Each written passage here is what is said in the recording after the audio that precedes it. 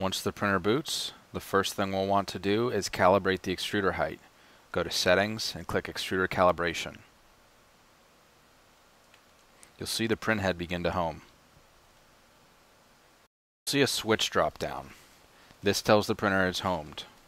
Let it finish its sequence and grab a sheet of computer paper.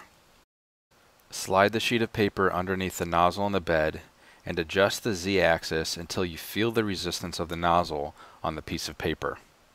You want to feel tension, but should still be able to move the piece of paper.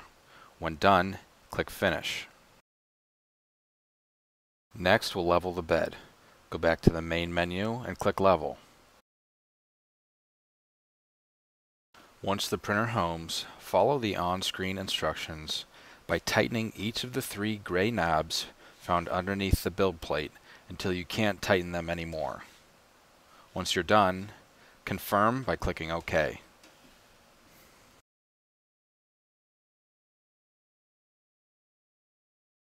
Once the printer is in position, begin by loosening the front left knob until you hear a steady beep.